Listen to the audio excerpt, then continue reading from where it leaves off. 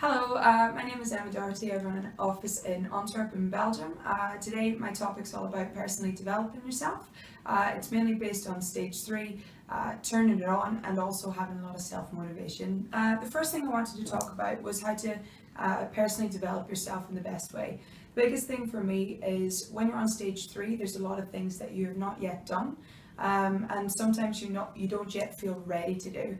Uh, the biggest tip I can probably give somebody is try and break those comfort zones as quickly as you can and as often as you can. You know, things like running the morning meeting, doing the bells and gongs sessions, uh, running a sector for the first time.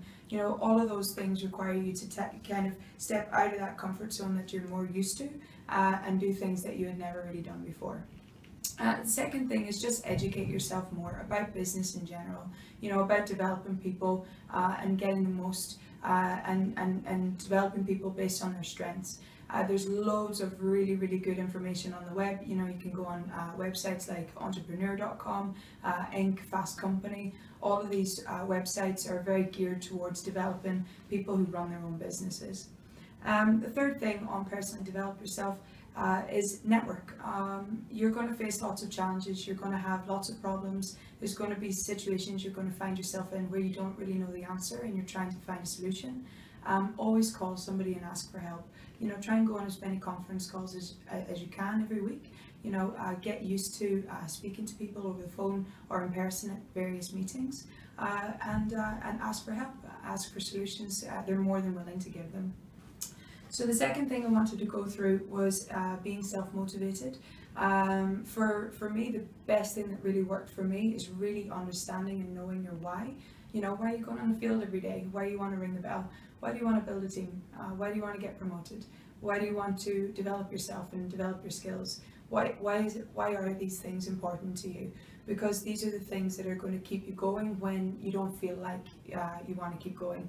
When it's seven o'clock and you're two off your goal and, and, and you really need to, to, to ring the bell that day.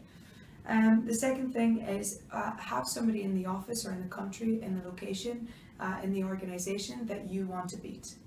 You know, always pick somebody who's one or two steps ahead of you so that they're your person that you're going for, that you're trying to beat on a day to day basis. You know, you need to have a target, you need to have an aim, you know, and once you've passed that person out, aim for the next person. You know, a really good tool to use is the bulletin board. You know, if you're brand new and you find yourself on 16th place, you know, take take them off one by one. If you're building a team for the first time and you're on number four, you know, take them off one, one person at a time, uh, climb your way to the top. You always need somebody who's just a little bit ahead of you to push yourself. And the third thing is think logically but not emotionally.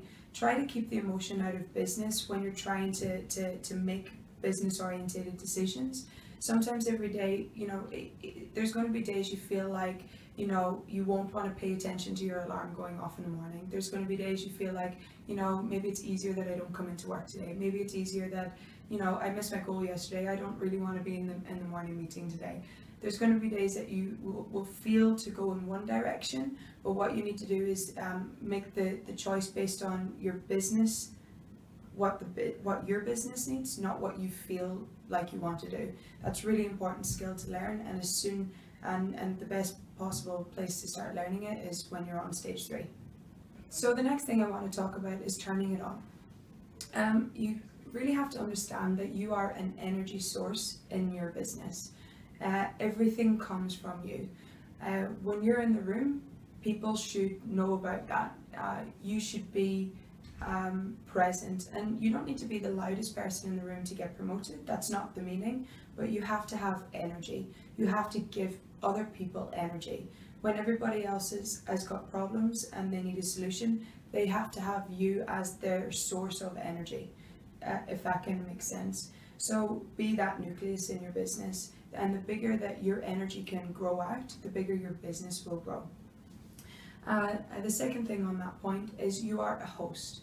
Every day you're going to have somebody that's new to your business who's walking with you, uh, um, you know, in your sector, in the office, um, you have to host uh, a, a, great uh, educational office every day. Uh, you have to host a great sector every day. You have to host, you know, a great crew night every week. You know, you have so much added value uh, every single day in the office. Um, so treat it like it's yours. It is yours. When you're building a team, it's your team. So you're running that team and you're hosting everything with that team. So make people feel welcome.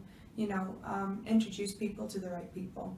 Um, you know, do things together. Create that team spirit. Um, the third thing is have a poker face. Uh, if you have a bit bad day in the field, and it'll happen, you know, when you're on stage three, you're learning lots of uh, new things. You know, you could be working in a territory you'd never really worked in before, and you struggle to get a result. You know, when you come back to the office, other people shouldn't really know that you had a, a challenging day. Your face should be pretty much the same, excited face all the time. Um, when you have a challenging day, the best way to deal with that is put on a brave face, get back to the office, stand in front of the eight steps, and think about what you had not done that day. Think about what you could have done to hit your goal, and grab the high roller and ask them what worked for them. You know, make sure that other people don't really know whether you've had a PB day or the worst day that you've ever had before you know, learn to control your emotions. Uh, Pretty much it from, from me. Well. Uh, I hope you gained a lot from uh, from my topic. There's loads more to come. Uh, make sure that you're using the website every single day. Uh, and I guess I'll see you all soon. Thanks for listening. Bye.